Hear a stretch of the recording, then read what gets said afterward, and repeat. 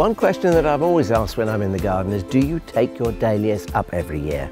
Well, some I do and some I don't. The ones I do are where I want to change the planting scheme for the following year. The ones I don't, as you see here, um, I don't need to change this every year. This is a fantastic display. It's a big chunky dahlia. I'm afraid I don't know the name of it, but it's unstable in the fact that some of the flowers come and they're pure orange, one or two are absolutely pure red, and some are streaked orange and red.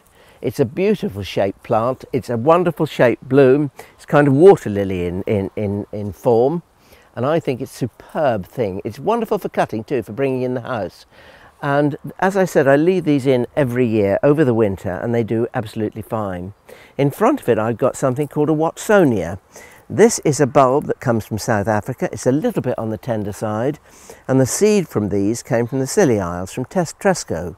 And they are known as Tresco hybrids because if you look carefully, we're looking at an orange one there. And if you come over here a little bit, you will see here is a pink one. And so you've got these lovely kind of sunset warm colours. And I've planted them here in front of these dahlias because I intend to leave them in over the winter. Okay, I'm going to help them a little bit. I'm going to give them a nice warm blanket of a mulch. I shall use spent mushroom compost um, and that will hopefully help them through the winter. Next year there'll be twice as many of them, who knows. Over here we have a little bit of a different picture.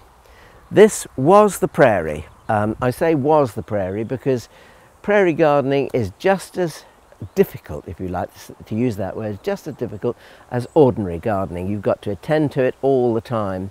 And I actually got rather bored with the kind of prairie look and I needed to build a fruit garden and so this is where it's going to go.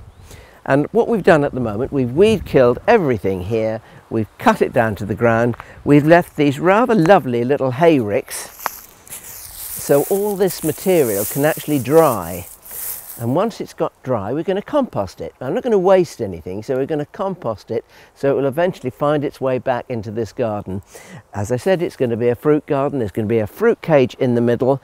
There's going to be various raised beds for all manner of fruit, permanent fruit like rhubarb, um, strawberries, raspberries, cherries, you name it. I want to grow everything in here and I want it to be absolutely delicious. It takes time and we're not going to start this kind of work here until the winter, but it gives me time to think and I need that time because I'm going to improve the ideas as I go along and it's going to be, well, watch this space.